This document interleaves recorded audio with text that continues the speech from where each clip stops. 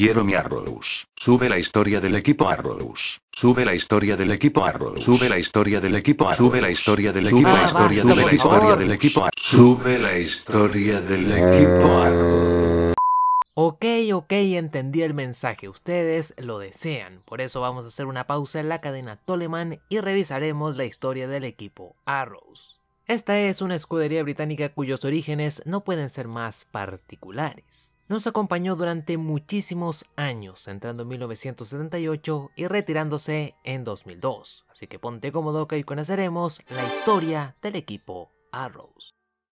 Para conocer el origen de Arrows debemos conocer al selecto grupo de muchachines que fundaron el equipo. Estos son Franco Ambrosio, como el que pone el dinero, o el rey del grano, empresario italiano que financió los equipos de Fórmula 1 Arrows y Shadow, e hizo una fortuna gracias al trigo y la pasta. Algo así como si yo al ser chileno me hiciera rico vendiendo diccionarios. Alan Rees, como el ex piloto. Este hombre de Gales pilotaría entre GPS en 1966 y 67, pero serían pilotando Fórmula 2 en los años locos donde la Fórmula 1 y la Fórmula 2 compartían pista en algunos circuitos. Rees también fue el cofundador del equipo Marsh junto a otros electro de muchachines que otro día conoceremos. Jackie Oliver como el ex piloto veterano. El británico de largo currículum compitió en Fórmula 1 en 8 temporadas logrando dos podios. Además ganaría las 24 horas de Le Mans en 1969 junto a Jackie X y la Can-Am en 1974 pilotando para el equipo Shadow. Dave Was como el diseñador que no tiene página en la Wikipedia. Este hombre se forjó en el equipo BRM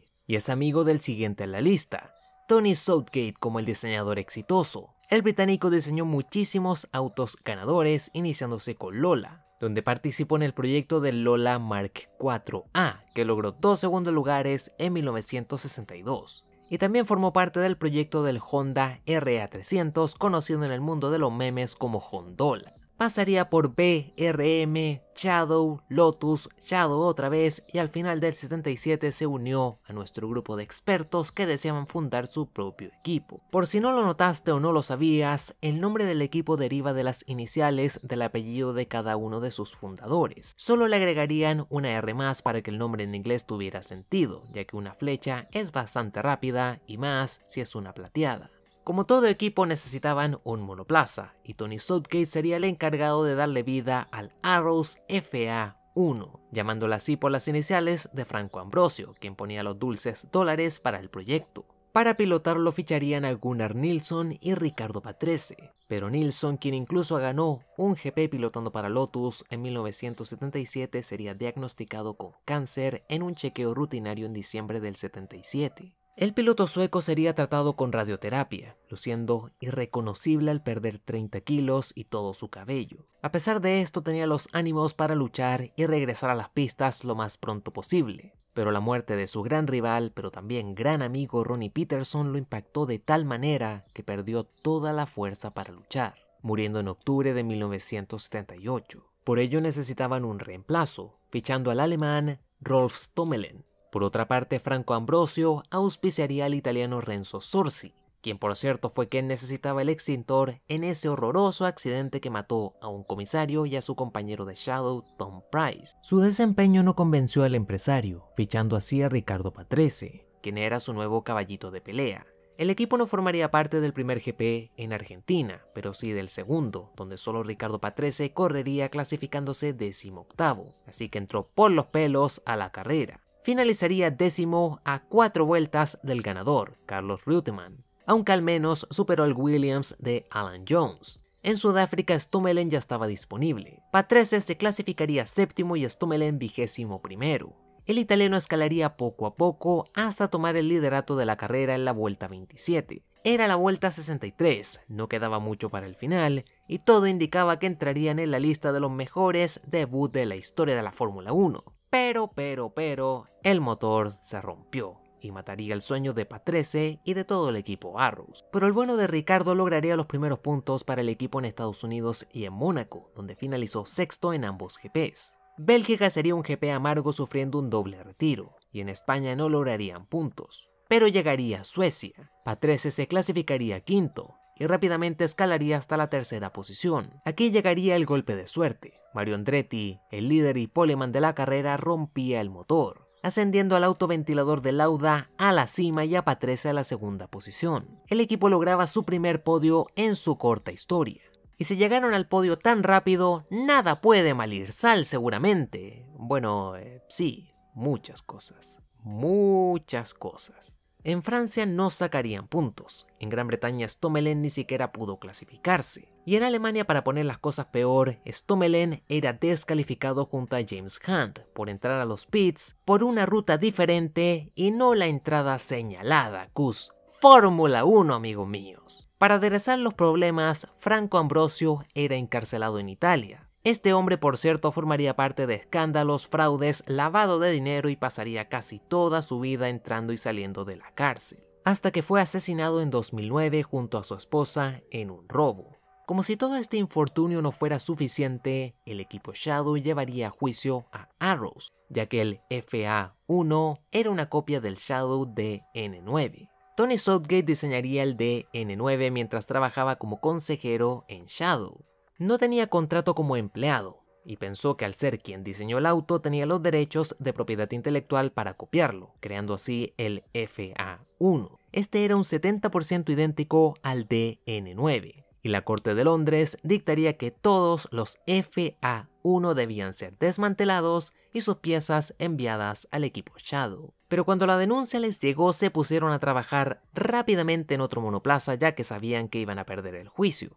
Tony Southgate y Dave Wast diseñarían el Arrows A1 y el auto sería construido en solo 53 días, una locura.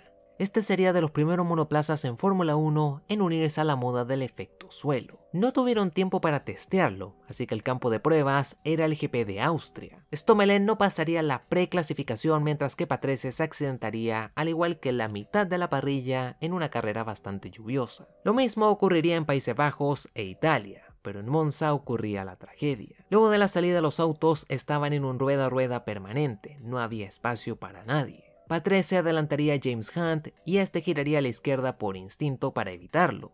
Tocaría la rueda trasera del Lotus de Peterson y el sueco se iba contra las barreras provocando un caótico accidente que afectó a Vittorio Brambilla, Hans Stuck, Patrick Dupayer, Didier Pironi, Derek Daly, Clay Regazzoni y Brett Langer. Los pilotos lograrían sacar a Ronnie Peterson de las llamas rápidamente, pero este perdería la vida en el hospital al sufrir una embolia luego de una cirugía. Se apuntaría a Ricardo Patrese como el gran culpable, prohibiéndole correr en el GP de Estados Unidos. Cerraban el año en Canadá, y Patrese escalaría desde la decimosegunda posición hasta la cuarta, dándole tres puntitos extras al equipo. Luego de varios giros en la trama de este anime, Arrows finalizaba noveno, empatado a 11 puntos con el equipo Williams, superando de paso a su gran archirrival, el equipo Shadow, así que tenían que celebrar. En 1979 Stommelen dejaba el equipo y su compatriota Jochen Maas le reemplazaba. Debutaban en Argentina, y Patrese al igual que varios se accidentaría en la primera vuelta provocando el reinicio de la carrera. El italiano no tenía monoplaza de repuesto, y Jochen Maas sacaría la cara por el equipo finalizando octavo. El año era gris, finalizaban en media tabla bastante cerca de los puntos pero no los conseguían hasta que llegó Bélgica. Patrese lograría colarse en la quinta posición dándole dos puntos al equipo. En Mónaco casi sacan otro podio cuando Jochen Maas escaló hasta la tercera posición. Pero poco antes del final, un problema en los frenos le hizo caer hasta el fondo del barril logrando un solo punto al finalizar en sexta posición. El equipo estrenaría nuevo monoplaza, el Arrows A2, este generaba una gran cantidad de carga aerodinámica, pero era muy difícil de conducir en las curvas, tanto que Patrese correría las prácticas de varios GPs con el A1, ya que era más fácil de controlar. El A2 debutaría en Francia y finalizaría al fondo de la parrilla. En Gran Bretaña sufrirían un doble retiro, pero en Alemania y Países Bajos, Más sacaría dos puntos con dos sextas posiciones aunque el alemán no lograría clasificarse en Canadá y en Estados Unidos, mientras que Patrese seguiría con su larga racha de retiros que inició en Gran Bretaña. En total lograrían 5 puntos equivalentes a la novena posición en constructores. En 1980, luego del fracaso del A2, diseñarían el A3. Este tenía un aspecto bastante más convencional, y mantendrían al dúo de pilotos. Debutarían con un espléndido 1-2 en retirarse, ya que ambos pilotos sufrieron fallas mecánicas. En Brasil, Patrese lograba un punto y más conseguía otro en Sudáfrica. En el GP de Estados Unidos del Oeste, Patrese escalaría desde la octava posición hasta la segunda. Arrows podía celebrar un nuevo podio, pero todo cambiaba en Bélgica donde los dos pilotos se retiraron al sufrir trompos. En Mónaco, Jochen Maas rozaría el podio al finalizar en cuarta posición pero su suerte cambiaría en el GP de Austria, donde un duro accidente lo dejó con daños en sus vértebras. Por ello, en Países Bajos, Mike Tagwell le reemplazaría sin poder clasificarse a la carrera, rol que ocupó Manfred Winkelhock en Italia, quien al igual que Tadwell no se pudo clasificar. Más regresaría en Canadá, pero Arrows no lograría otro punto este año. En total sumarían 11 puntos que les dejó en una digna séptima posición en constructores. En 1981 más era reemplazado por el italiano Siegfried Storr, utilizarían el A3 y el debut sería dulce y amargo a la vez. Ricardo Patrese conseguía la pole, superando a Alan Jones por un pelo de rana calva.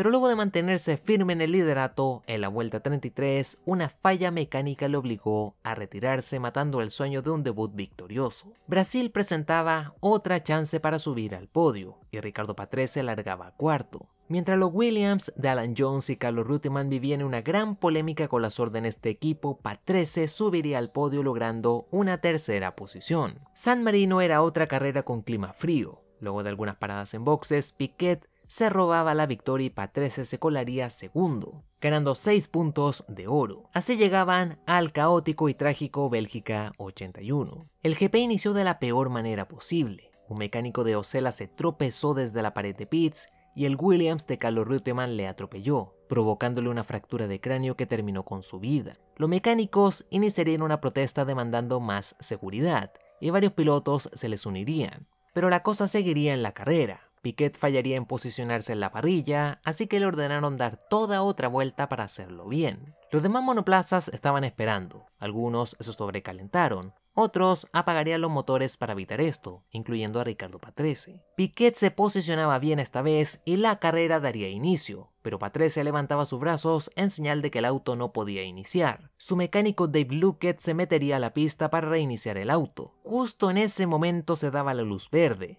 y Siegfried Storr, el otro piloto de Arrows, impactaría a Patrese y a Dave Luckett. Dave tendría bastante suerte, se rompería una pierna pero saldría vivo del asunto. Fue un momento muy impactante pero que cambió las normas para evitar más accidentes como este. Y siempre que veo este video no puedo dejar de sentir pena por el pobre Storr, quien se baja del monoplaza en shock y no puede creer lo que pasó. Se le ve casi en una crisis de pánico. En Italia, Storr se accidentaría en la clasificación. El fantasma de casi matar a Dave Blockett le perseguía y no le dejaba conducir con tranquilidad y por ello anunciaría su retiro como piloto. Su reemplazante sería Jack Villeneuve, pero no el campeón con Williams, que ese aún era un renacuajo. Este era el hermano menor de Gilles Villeneuve, haciendo con Arrows su gran debut formulero. Este no lograría clasificarse ni en Canadá ni en Las Vegas, y Patrese no lograría más puntos. En una temporada bastante agitada finalizaban con 10 puntos equivalentes a la octava posición en constructores. Arrows trabajaría duramente para mejorar y vivir sus mejores años durante los 80,